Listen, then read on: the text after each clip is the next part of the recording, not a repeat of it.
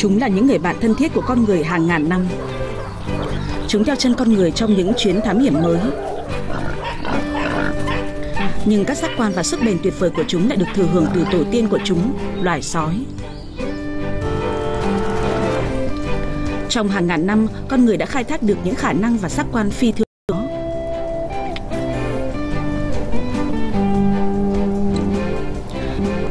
Nhưng từ loài sói, loài săn mục hoang dã đã trở thành người bạn được thuần phục và sống chung nhà với con người ra sao? Câu trả lời nằm trong lịch sử chung của chúng ta. Những khu đất dành cho việc săn bắn ở châu Âu xưa kia ẩn chứa manh mối. Chính tại đây, sự phát triển của một tình bạn độc nhất được thể hiện ở dạng tinh tế nhất, đó là giữa người đi săn và chú chó.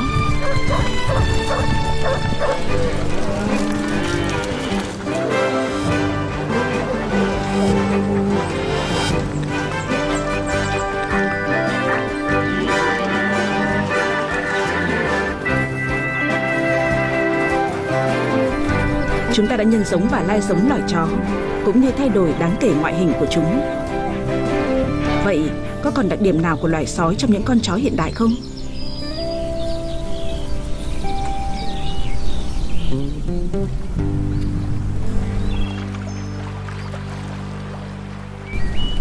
Hồ Baikal ở Siberia Ở một nơi nào đó tại đây, trung tâm của châu Á, sói đã trở thành chó cách đây hơn 15.000 năm. Và thậm chí cả ngày nay, chó vẫn đóng vai trò quan trọng đối với những thợ săn trong vùng. Alexander đang thực hiện một truyền thống từ lâu trong gia đình ông, đó là đặt bẫy thú hoang.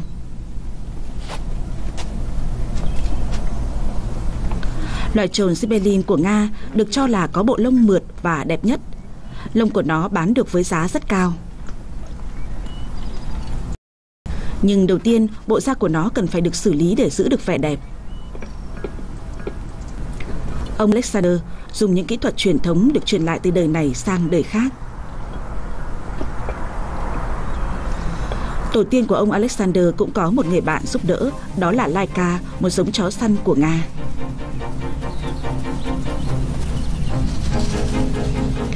Ban đầu Laika được dùng làm chó kéo xe, nhưng trong bao lâu chúng đã chứng minh mình có những khác. Những chiếc mũi siêu thính của chúng có thể ngửi được mùi hương mờ nhạt nhất của trồn sạc nhất của trồn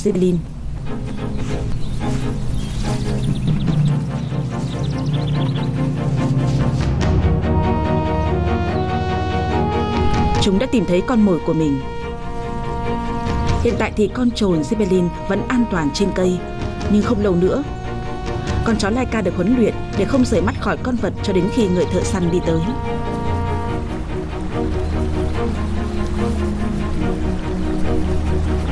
Đôi khi anh Fyodor, con trai của ông Alexander cũng đi cùng ông. Fyodor không còn đi săn nữa, giờ anh làm kiểm lâm, bảo vệ những khu rừng xung quanh đây.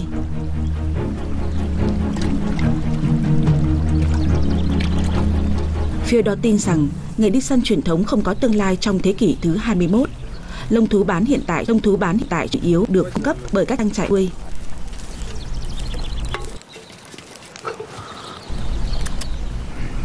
Ông Alexander có lẽ là một trong những thợ săn trồn Zeppelin hoang dã cuối cùng. Điều này có đồng nghĩa với việc kết thúc sự liên minh cổ xưa giữa thợ săn và chó Laika.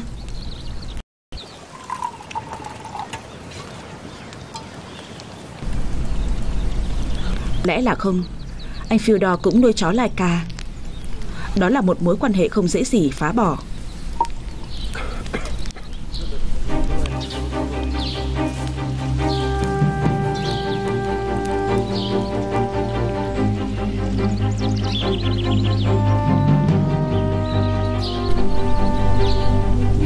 Một số khu rừng quanh hồ Baikal vẫn chưa có dấu chân người lui tới. Đây là một nơi hoang dã hoàn hảo với rất nhiều động vật hoang.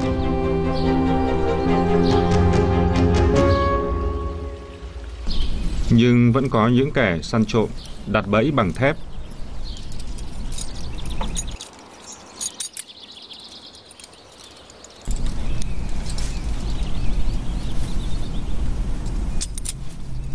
Chó Laika có nguy cơ bị thương nặng và phải học cách nhận biết nguy hiểm.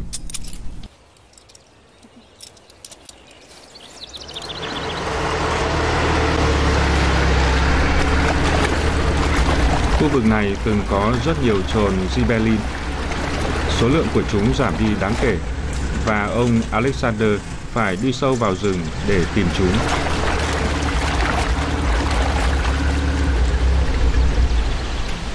Đã đến cuối con đường, từ đây phải đi bộ.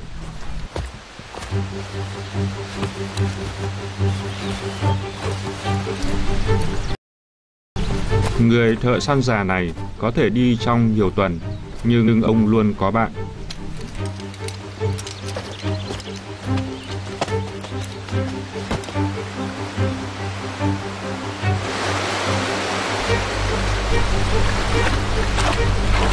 Cả thợ săn và chú chó biết rõ địa hình này. Tuy nhiên, họ cần tất cả các giác quan và kinh nghiệm khi đi qua những dòng nước chảy xiết. Chú chó Laika trung thành này đã bị mất một bàn chân trước vì dẫm vào một hòn đá sắc nhọn trên sông.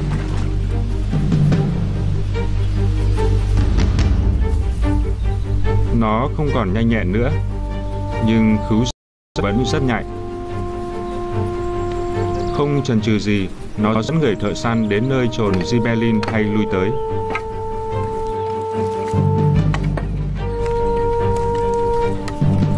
Ông Alexander đặt bẫy của mình.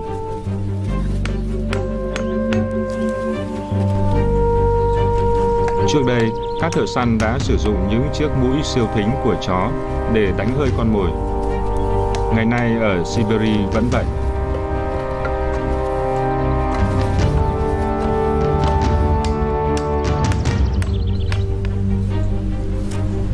Chiếc bẫy đã được gài mồi và làm xong. Chỉ một cú chạm nhẹ cũng làm bẫy sập. Con vật sẽ chết, nhưng bộ da của nó không bị ảnh hưởng. Khi bộ da đủ mềm, chúng sẽ được làm sạch cẩn thận. Thật khó tưởng tượng là những bộ da nhỏ bé này lại là một món hàng xa xỉ trên thế giới.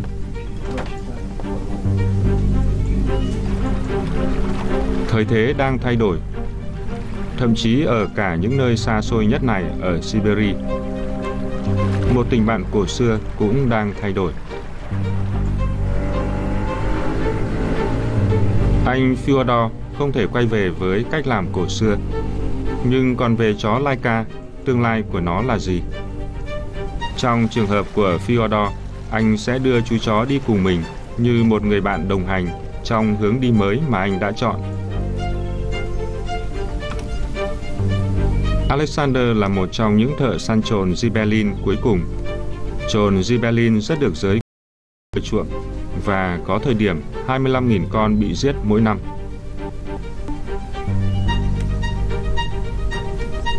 Việc hạn chế săn bắn và nhân giống trở lại giúp chúng không bị tuyệt chủng.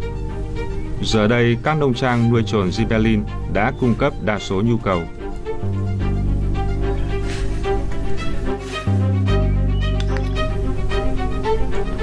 Nếu thợ săn ở vùng hồ Baikal không còn, thì người bạn suốt đời của họ, chó Laika cũng vậy.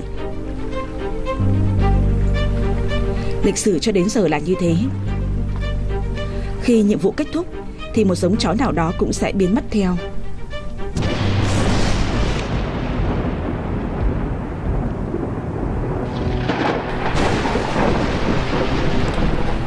Đó hàng ngàn km ở trung tâm nước Pháp, giống chó săn này đã vượt qua sự thử thách của thời gian một cách thần kỳ. Nó đã trở thành vật trang sức của giới quý tộc và nhà giàu. Vào thời Trung Cổ, việc đi săn đã trở thành một thú vui được yêu thích của giới quý tộc châu Âu. Và chẳng ở đâu việc đi săn cùng chó lại phổ biến như ở Pháp. Giống chó săn ba màu của Pháp được nhân giống để đi săn theo đàn.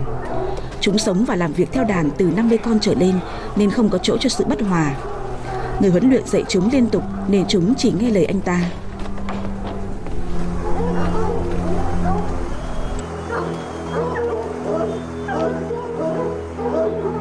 Ở đây, các chiến lợi phẩm thường được tặng luôn cho đàn chó.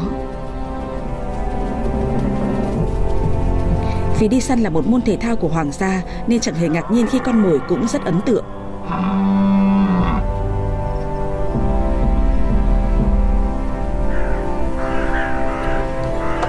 Đang mùa động đực, những con hươu đực đang tràn trề testosterone.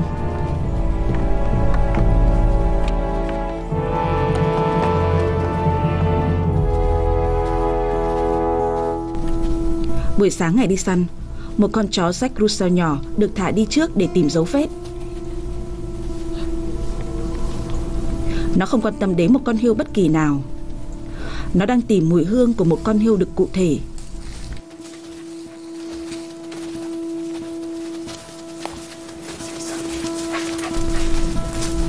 Một khi nó tìm thấy dấu vết, cuộc đi săn có thể bắt đầu.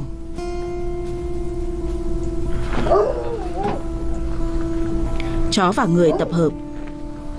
Những con chó săn rất háo hức. Nhưng một cuộc đi săn như thế này là một chiến dịch lớn và mọi thứ phải được lên kế hoạch tỉ mỉ. Lũ chó săn này là các thợ săn tự nhiên. Một khi được thả ra sẽ chẳng có gì có thể ngăn được chúng. Chúng rất khỏe mạnh, nhanh nhẹn, được nhân giống để có tốc độ và sức bền.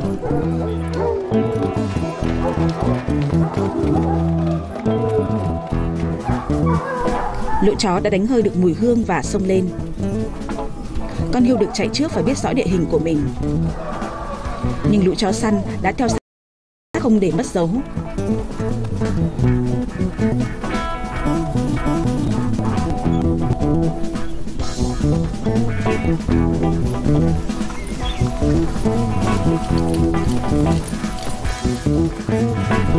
đàn chó sẽ săn mồi cùng nhau, Giống như tổ tiên của chúng. Vẫn còn chút hơi hướng của chó sói trong giống chó này.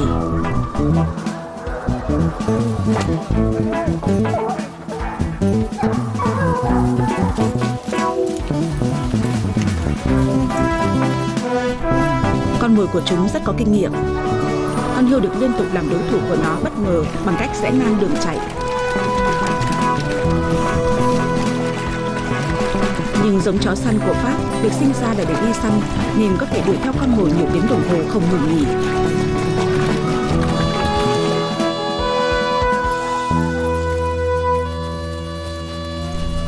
Sau 3 tiếng đồng hồ, cuộc đi săn kết thúc. Con hươu đực đã chiến thắng.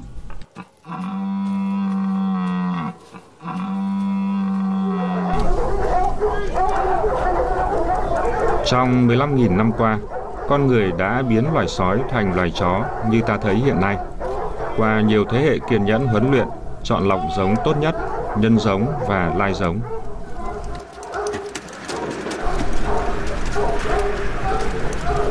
Con người chọn lọc tốc độ và sức bền, màu sắc cũng như hình dáng cơ thể của chúng. Từ loài sói, con người đã tạo ra hàng trăm giống chó khác nhau.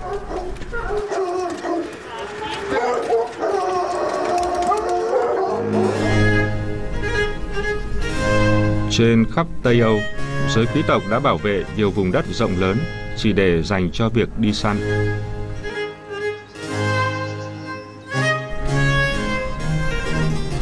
Sở hữu những khu đất dành cho việc đi săn là biểu tượng của quyền lực và vị thế. Những người giàu có nhất đã tạo ra cho họ một giống chó độc quyền và những chú chó này đã phát triển được những khả năng mới.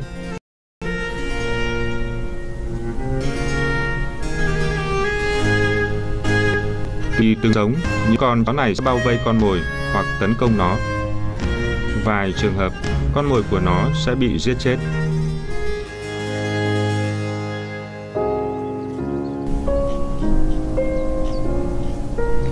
Lâu đài Mauriceburg ở phía đông nước Đức là một trong những khu vực đi săn khét tiếng nhất châu Âu. Những khu rừng và hồ nước bao quanh nó là địa điểm đi săn yêu thích của vua Saxony. Cách đây 300 năm, nó đã trở thành nơi diễn ra một cuộc tàn sát trên quy mô lớn.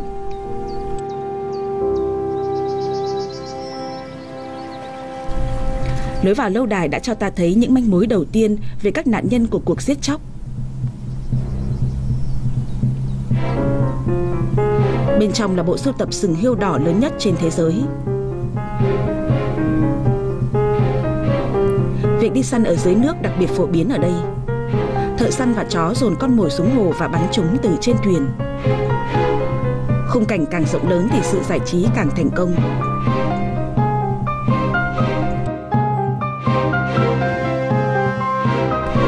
Đi săn đã đóng một vai trò quan trọng với giới quý tộc, giúp hình thành các mối quan hệ xã hội và liên minh chính trị. Do đó, nó trở thành một nghi thức được đánh giá cao, giống như một chiến dịch quân sự được chuẩn bị kỹ lưỡng.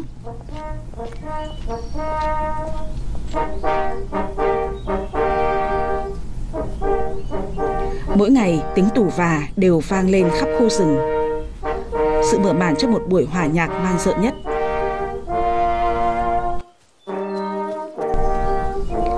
Bị lượng thức ăn hào phóng thu hút, Lữ Hưu đã quên mất nỗi sợ.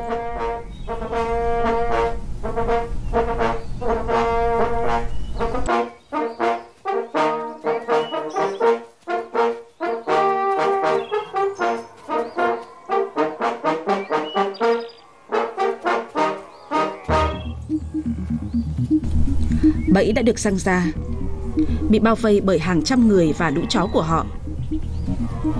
Lũ hiêu chẳng còn đường thoát. Xung quanh được ngăn bởi những tấm vải đung đưa trong gió mà lũ hiêu sợ hãi không dám vượt qua. Thòng lọng đã được thiết chặt. Lũ chó săn được thả ra.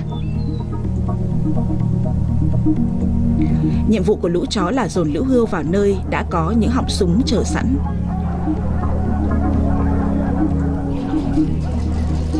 Lúc này, việc đi săn không còn là thú vui của giới quý tộc, mà đã trở thành một môn thể thao hoàn toàn cho việc giải trí. Và khi việc đi săn tiến lên một nấc mới thì vai trò của lũ chó cũng thay đổi. Giờ chúng là một phần của sự giải trí ấy. Chỉ trong một ngày, có thể hơn 200 con hươu và đến 400 con lợn rừng sẽ bị giết trong một khung cảnh như những trò chơi của người La Mã.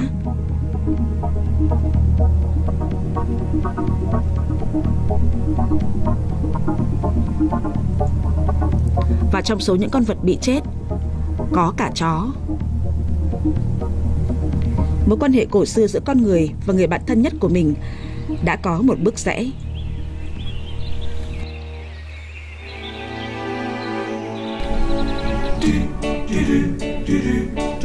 Trong suốt lịch sử, sự tiến hóa của chó săn và việc đi săn đều gắn liền với nhau.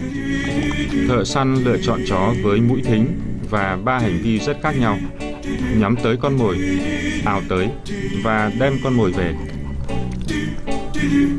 Khi con người nhân giống và lai giống loài chó, họ đã thay đổi đáng kể ngoại hình của chúng, tạo ra một sự kết hợp nhiều đặc điểm.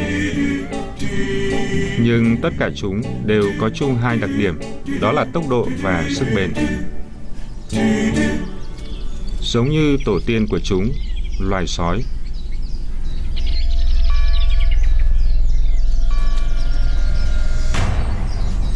Từ buổi bình minh của nhân loại, sói đã là đối thủ của con người, cùng kiếm loại thức ăn như chúng ta. Chúng làm ta ấn tượng với xã hội phức tạp của chúng, sự nhanh nhẹn và sức bền của chúng vượt trội hơn ta. Nhưng cách đây 130.000 năm, một số con sói đã bị thu hút bởi những nơi có con người sinh sống và việc kiếm ăn dễ dàng quanh đó. Khi lũ sói đến gần người hơn, quá trình thuần hóa chúng bắt đầu. Nhưng chó thân thiện với con người bao nhiêu thì sói lại hung dữ bấy nhiêu.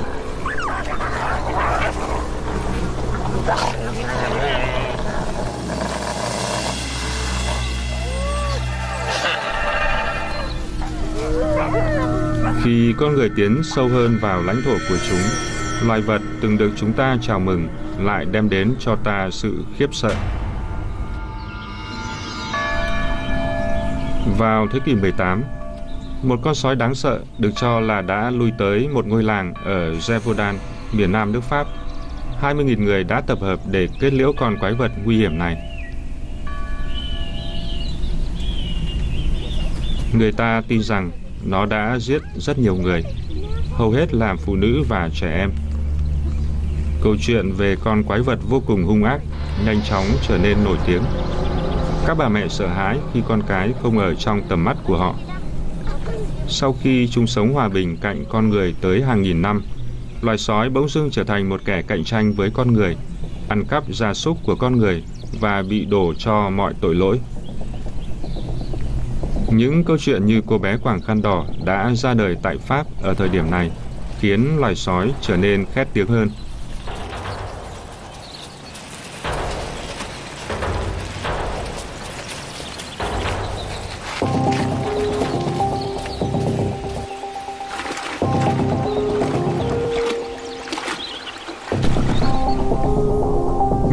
Dân làng đã thành công trong việc đi săn một con sói. Trong một thời gian ngắn, người ta đã thở phào. Nhưng sau đó, việc giết chóc lại tiếp tục. Nhà vua cử đội thợ săn hoàng gia tới vùng này. Họ cũng hạ được một con sói. Nhưng sau đó, nhiều nạn nhân lại được tìm thấy. Dân làng bắt đầu tin họ đang bị nguyền rủa. Hai năm sau, một con vật lai nửa chó nửa sói bị bắn chết. Cuối cùng ngôi làng cũng thoát khỏi lời nguyền của nó. Chúng ta chẳng bao giờ biết được chuyện con quái vật của vùng Jevodan có phải chỉ là truyền thuyết hay không.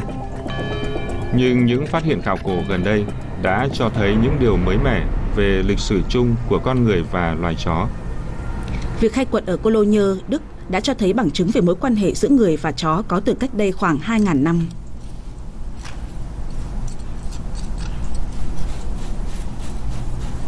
Dường như chó và người đã luôn sống bên nhau trong suốt lịch sử của thành phố này. Nhưng con vật này có vai trò gì trong cuộc sống của ta? Việc nghiên cứu các di vật đã hé lộ một bí mật tăm tối.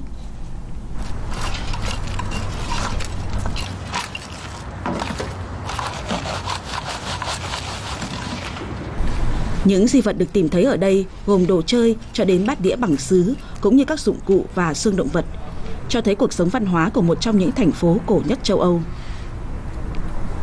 Chúng cũng hé mở mối quan hệ ban đầu của con người và loài chó.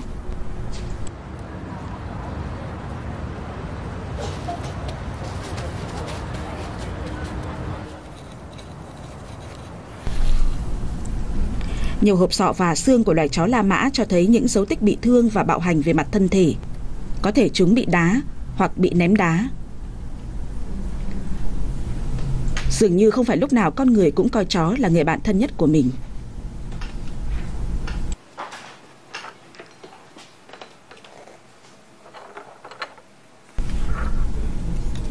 Những chiếc xương sườn bị gãy hoặc sạn cũng cho thấy tình hình ở thời Trung Cổ cũng không khá hơn.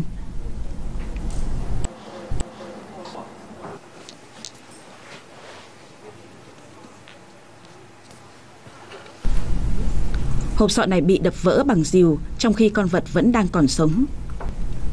Những vết chém khác trên xương xuất hiện khi con vật đã chết. Gần như chắc chắn là nó bị lột da. Quần áo và chăn làm từ da chó rất được ưa chuộng ở thời kỳ Trung Cổ.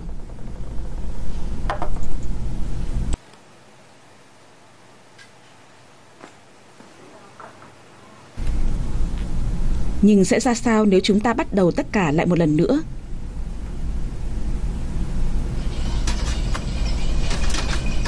Các nhà khoa học ở Siberia đang thực hiện một thí nghiệm đặc biệt. Họ cố gắng sao chép và đẩy nhanh quá trình thuần hóa. Lần này không phải với sói, mà với cáo.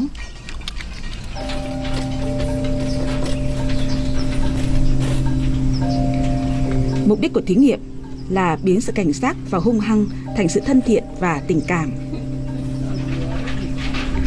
Những con cáo con này rất vui khi gặp người chăm sóc chúng. Chúng chào đón họ rất tình cảm, giống như những chú chó con. Chúng yêu thích việc tiếp xúc về mặt thân thể với con người và rất thích được vuốt ve.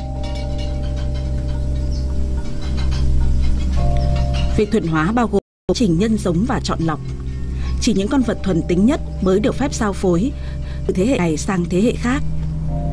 Theo thời gian, loại cáo đã thay đổi về gen và chính những gen quyết định hành vi cũng có thể liên quan đến các đặc điểm ngoại hình.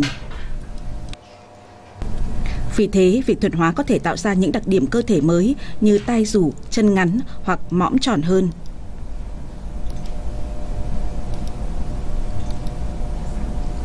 Các nhà khoa học đã phát hiện ra rằng Sọ của những con cáo được thuần hóa ngắn hơn và rộng hơn, giống như ở loài chó.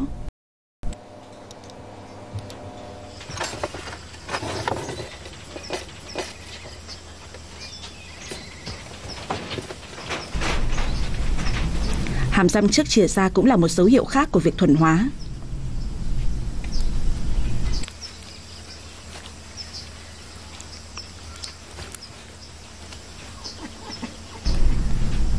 Các mẫu máu được lấy để đo lượng adrenaline. Kết quả cho thấy với mỗi một thế hệ được thuần hóa hơn thì lượng adrenaline cũng giảm đi.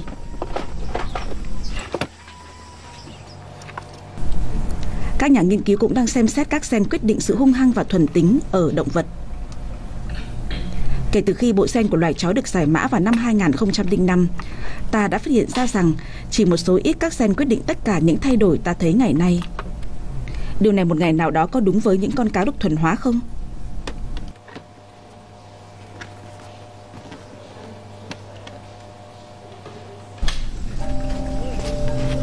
Nhưng không chỉ có sen tác động tới quá trình thuần hóa, Nó cũng cần tới sự tiếp xúc gần gũi thường xuyên với con người Chỉ bằng việc học cách vượt qua bản năng săn mồi tự nhiên, Một ngày nào đó loài cáo mới có thể mất đi sự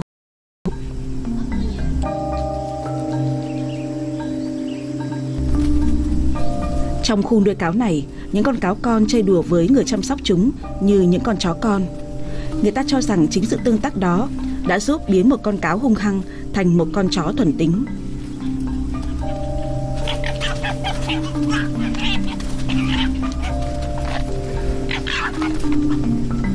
Khi sói tới gần con người sinh sống để tìm thức ăn, có thể có một vài con đã dũng cảm hơn và thân thiện hơn với những con khác. Nhưng chúng vẫn là động vật hoang dã. Phải mất hàng chục ngàn năm chúng mới tiến hóa thành loài chó thuần tính, chung sống hòa bình cùng một mái nhà với chúng ta ngày nay.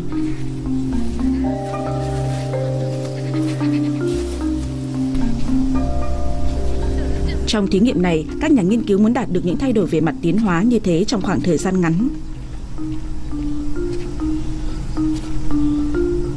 Nhưng không phải con cáo nào cũng tin vào ý tưởng đó.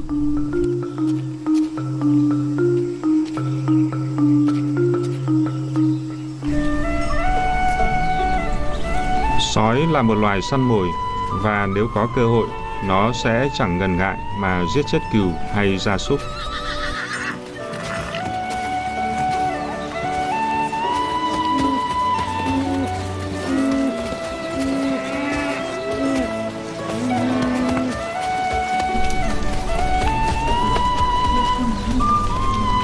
Nhưng chó chăn cừu thì không có ý định đó. Thay vào đó, trong hàng nghìn năm qua, nó lại chính là ân nhân không thể thiếu của người chăn cừu.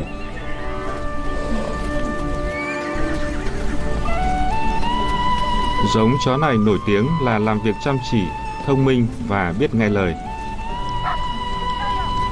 Nó nhanh chóng học được những gì con người muốn. Nó là chú chó chăn cừu hoàn hảo. Nó giống chó sói hơn bất kỳ loài chó nào khác, nhưng sức mạnh và tốc độ của nó được dùng để bảo vệ gia súc của chúng ta. Ngày nay, nhiều chú chó chăn cừu đã bị thất nghiệp. Với sự thay đổi cách làm nghề nông và có ít động vật săn mồi tự nhiên hơn, kỹ năng của chúng không còn cần đến nữa. Liệu đây có phải tín hiệu cho sự kết thúc của giống chó chăn cừu? Trong một số trường hợp, kỹ năng của chúng giờ được dùng cho những mục đích khác Giống chó chăn cừu của Đức nổi tiếng với những lực lượng vũ trang, cảnh sát cũng như các đội tìm kiếm cứu hộ, những người đánh giá cao sức mạnh và sự tin cậy của chúng. Nhưng có thể còn một cứu cánh khác cho loài chó chăn cừu. Sói hoang đang trở lại châu Âu và vì thế có thể người ta lại sẽ cần tới chó chăn cừu.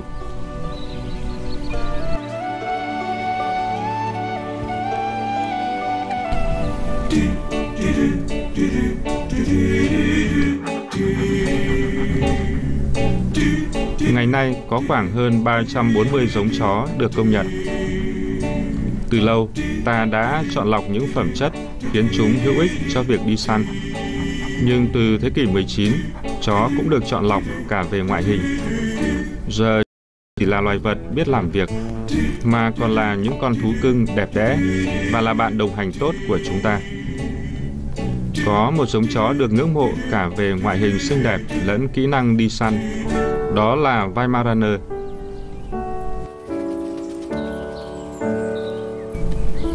Nó được tạo ra riêng cho hoàng gia, những người muốn có một loài chó đi săn đáng tin cậy và có ngoại hình cao quý. Được đánh giá cao, giống chó Weimaraner có Weimaraner thường sống cùng hoàng gia, canh gác nhà cửa và chơi với trẻ em. Nó nhanh chóng trở thành thú cưng đáng yêu và trung thành của hoàng tộc. Nó được đặt tên theo triều đình Weimar ở Đức.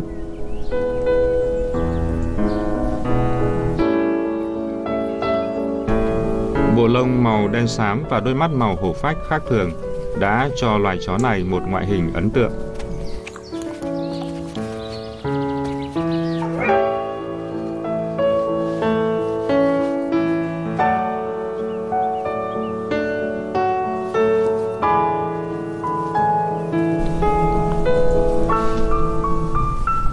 Nhưng ban đầu, loài chó to lớn và khỏe mạnh này được tạo ra để đi săn. Chúng có mũi rất thính, mũi rất thính và cao khát đánh hơi mồi rất mạnh mẽ. Dễ hiểu tại sao chúng lại được đánh giá cao vì tốc độ và sức bền như thế.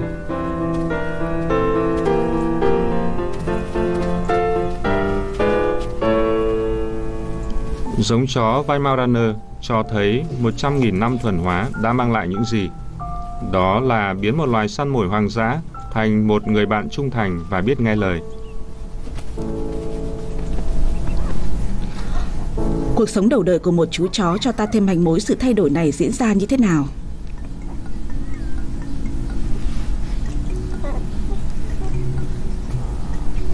Khi sinh ra, những chú chó con đều không nhìn thấy và nghe thấy gì. Và chỉ có thể cảm nhận thế giới xung quanh bằng mũi đây là sự khởi đầu của một giai đoạn quan trọng. Chúng học cách ngửi xem mẹ và các anh chị em mình có mùi như thế nào và giao tiếp bằng những tiếng rên ư ử. Sự gần gũi của tình thân đem lại sự an toàn và thoải mái cho chúng. Một tháng sau chúng bắt đầu mở mắt và nghe được. Lũ chó con bắt đầu khám phá thế giới xung quanh và chơi với các anh chị em, học những kỹ năng xã hội đầu tiên.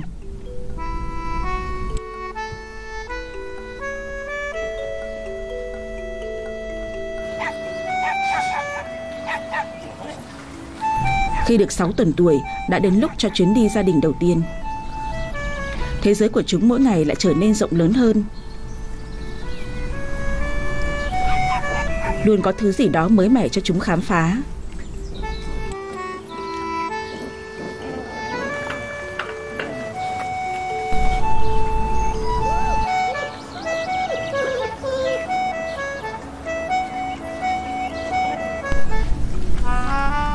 Khi gai vị giác của chúng phát triển, lũ chó con không còn thích sữa mẹ nữa mà quan tâm hơn đến thức ăn rắn.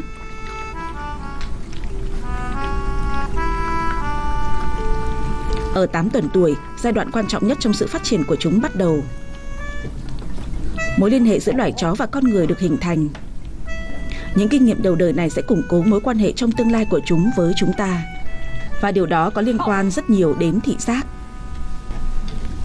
Giai đoạn này rất quan trọng cho việc thuần hóa loài chó. Sức mạnh của mối quan hệ này đang được thử nghiệm trong phòng thí nghiệm.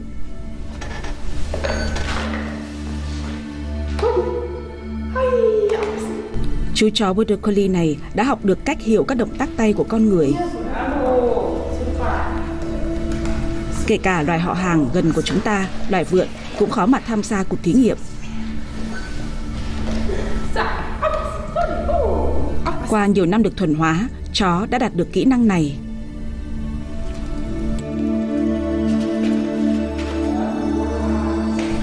Nhiệm vụ tiếp theo còn phức tạp hơn. Chú chó được yêu cầu không động vào miếng xúc xích.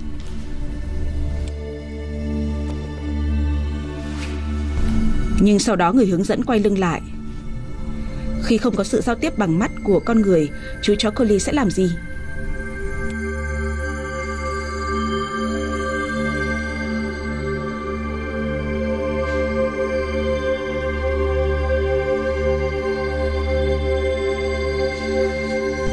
Con chó rất thông minh, nó biết mình không bị theo dõi.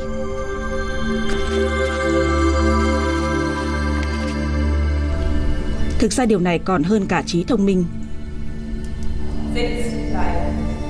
Mối quan hệ gần gũi với con người cho phép loài chó đồng cảm và biết chính xác ta muốn gì.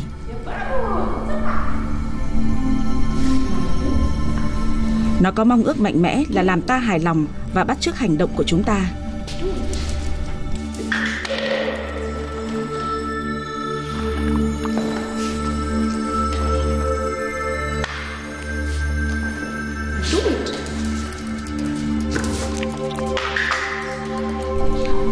Chú chó Border Collie bắt chước từng hành động của người hướng dẫn với sự chính xác hoàn hảo.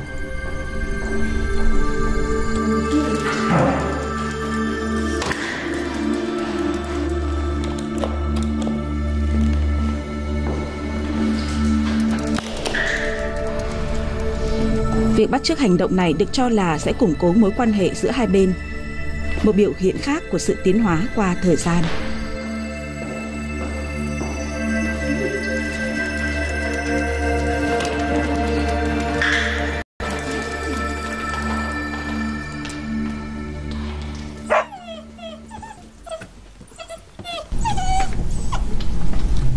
Hôm nay là ngày quan trọng cho những chú chó con này. Đã đến lúc chúng rời xa mẹ và các anh chị em của mình. 8 tuần tuổi, chúng đã đủ lớn để hình thành mối liên hệ mạnh mẽ với gia đình chủ mới. Giống như những đứa trẻ này đã chọn chú chó con yêu thích trong đàn, loài người đã chọn lựa những chú chó có khả năng đi săn và làm bạn đồng hành từ nhiều thế hệ.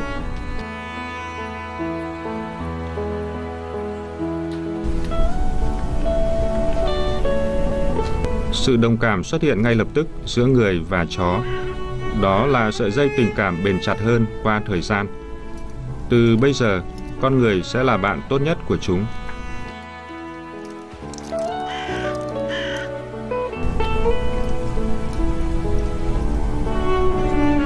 Hàng nghìn năm thuần hóa có thể đã thay đổi đáng kể hình dáng và hành vi của loài chó.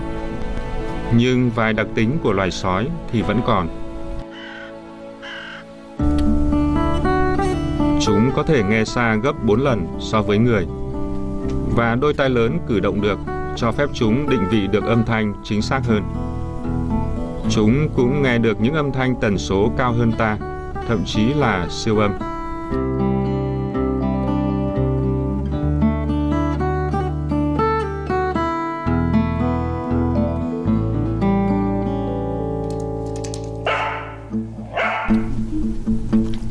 Nhưng chắc chắn, giác quan phát triển nhất của loài chó chính là chiếc mũi siêu thính của chúng. Trong suốt lịch sử, ta đã đánh giá cao khả năng đánh hơi con mồi của chúng. Thế nên ta đã chọn lọc để có những chiếc mũi thính nhạy nhất. Có những con chó có tới 300 triệu cơ quan thụ cảm mùi hương, khiến chúng trở thành những kẻ đánh hơi giỏi nhất và người được giỏi hơn người đến một triệu lần. Đôi mắt của loài chó có thể là đặc điểm được yêu quý nhất của chúng, nhưng chúng lại kém nhạy bén hơn những giác quan khác. Chúng hầu như tiến hóa để phát hiện các chuyển động hữu ích cho việc đi săn. Còn cùng một vật đó khi đứng yên thì lại dễ bị loài chó bỏ qua. Chó cũng nhìn được màu sắc, ngoại trừ việc chúng không phát hiện ra màu đỏ. Và vị trí đôi mắt khiến chúng nhìn được những hình ảnh rộng nhưng chỉ có hai chiều. Nhưng một thí nghiệm xem chó nhìn thấy gì khi nhìn thấy con người sẽ cho thấy vài kết quả bất ngờ. Máy tính sẽ theo dõi cử động mắt của chú chó này. Nó sẽ được xem những khuôn mặt với các sắc thái biểu cảm khác nhau. Đầu tiên là một khuôn mặt buồn. Chú chó nhìn thấy nó và hạ đuôi xuống một cách buồn bã. Nó đã phản ứng lại với trạng thái cảm xúc của con người trước mặt nó. Các chấm xanh cho thấy chú chó đang nhìn vào phần nào của khuôn mặt, đó luôn là đôi mắt. Chú chó đọc biểu hiện của một người để suy ra trạng thái cảm xúc của họ. Đây đúng là điều phi thường, vì chó sử dụng ngôn ngữ cơ thể rất khác ta để biểu lộ cảm xúc.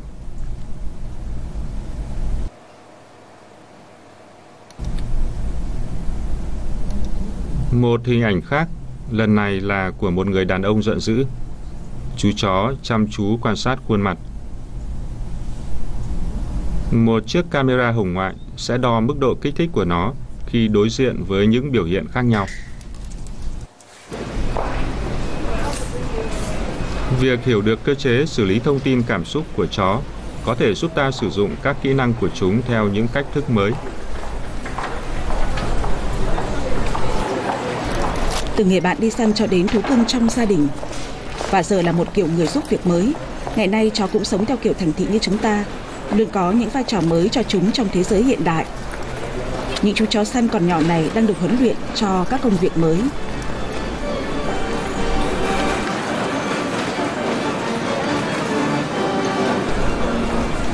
Chúng đang học cách giữ bình tĩnh trong khu mua sắm ồn ào và tấp nập nhất. Để hoàn thành nhiệm vụ là người bạn và người bảo vệ con người trong thế kỷ thứ 21, chúng phải tập trung, đáng tin cậy và tự nhiên ở trong một đô thị thế này.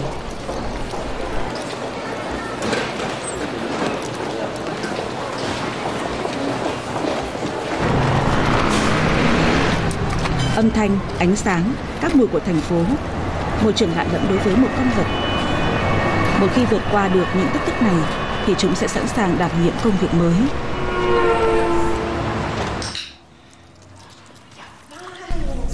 Chú chó nhỏ này đang học cách nhận biết các dấu hiệu của mức đường huyết thấp ở bệnh nhân đái tháo đường. Mùi hương đặc biệt này sẽ đi kèm với một phần thưởng, nên nó biết đây là điều quan trọng.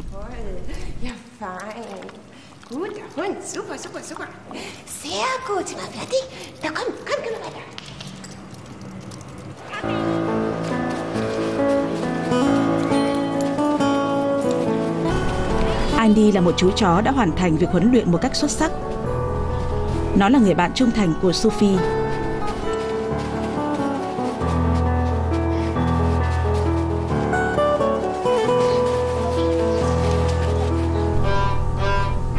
Sophie bị đái tháo đường, cô bé còn quá nhỏ để biết khi nào thì mức đường huyết của mình xuống đến mức nguy hiểm. Annie có mặt ở đó để bảo vệ cô bé.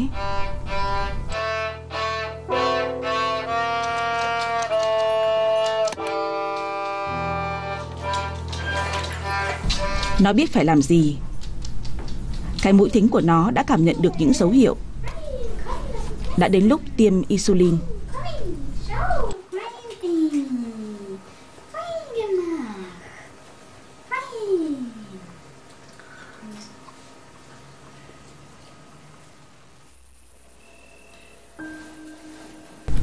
Nhưng việc của Annie vẫn chưa kết thúc kể cả khi Sophie đi ngủ. Nó đang canh ca đêm. Mọi người nhờ nó đánh thức cả nhà dậy khi cô bé cần giúp đỡ. Đây là một trách nhiệm lớn, Nhưng Annie đã được huấn luyện để liên tục theo dõi.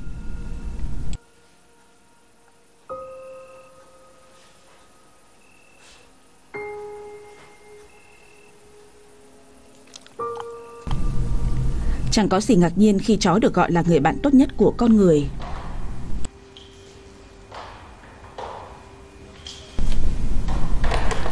Vai trò của loài chó trong thế giới hiện đại đang thay đổi.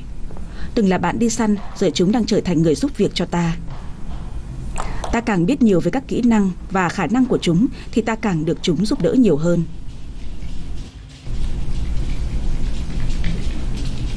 Trong phòng thí nghiệm này, Chó đang được huấn luyện cho một vai trò mới, Đó là đánh hơi được bệnh ung thư Có vài chiếc ống chứa mùi của người khỏe mạnh, Những chiếc khác chứa mùi của bệnh nhân ung thư có khối u ở phổi hoặc họng. Những chú chó đã được dạy về mùi của bệnh ung thư. Giờ độ tin cậy của chúng đang được thử thách.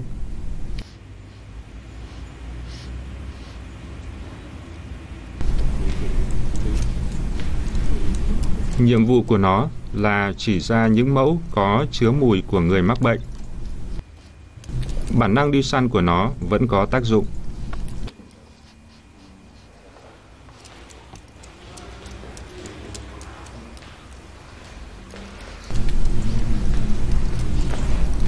Thật bất ngờ khi tỷ lệ chính xác lên đến hơn 90%.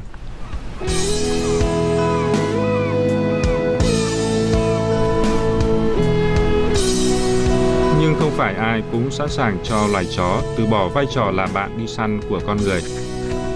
Việc săn cáo từng là môn thể thao được yêu thích ở vùng đồng quê nước Anh trong hàng trăm năm. Từ năm 2005, nó đã bị cấm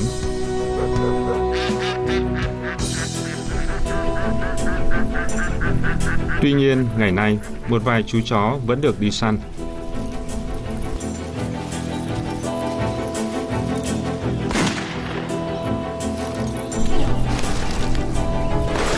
Nhưng chúng không đi săn, các con vật sống. Huấn luyện bằng đồ vật là xu hướng mới nhất. Giờ những chú chó phải đi lấy các vật về, thay vì một con cáo hay thỏ. Truyền thống đã có 100 năm, tiếp tục dưới một hình thức khác. Và mỗi chú chó phải học cách đợi đến lượt mình.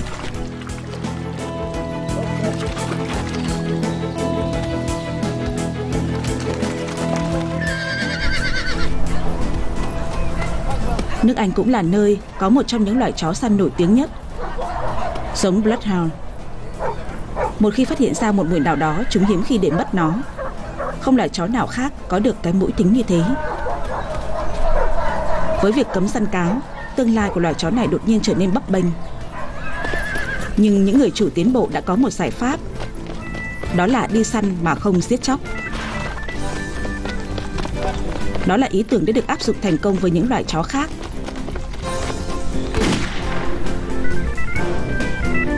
Giống Labrador và Retriever là hai trong số những giống chó săn nổi tiếng nhất thế kỷ thứ 19, luôn đi lấy chiến lợi phẩm về cho các thợ săn.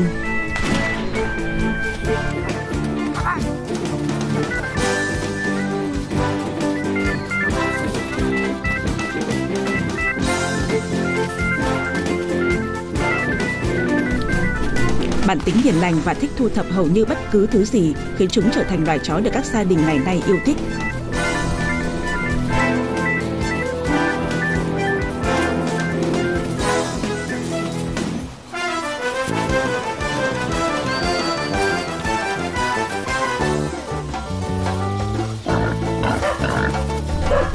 Có lẽ loài chó săn dũng cảm nhất là loại nhỏ nhất. Hình như giống chó đất sừng chẳng hề sợ lợn rừng.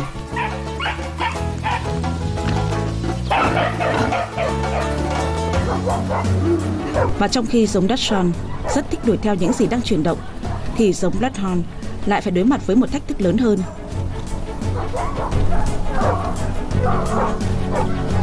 Chúng chạy theo những người chạy bộ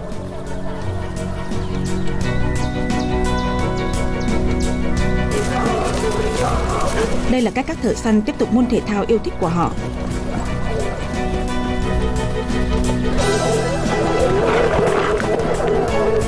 Những người chạy bộ được bắt đầu trước một tiếng. Sau đó các con chó được thả ra.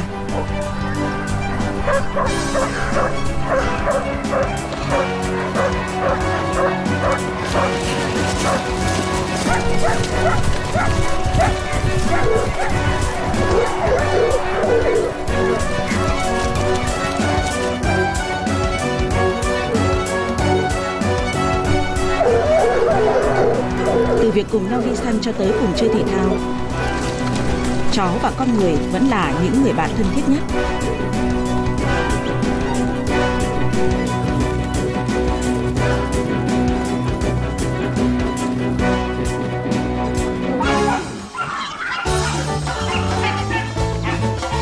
Con người đã mất hàng thế kỷ để lai giống ra người bạn đi săn hoàn hảo. Vì thế chẳng có gì ngạc nhiên khi sự thôi thúc bản tính đi săn vẫn còn nằm trong máu của hầu hết các giống chó của ta hiện nay.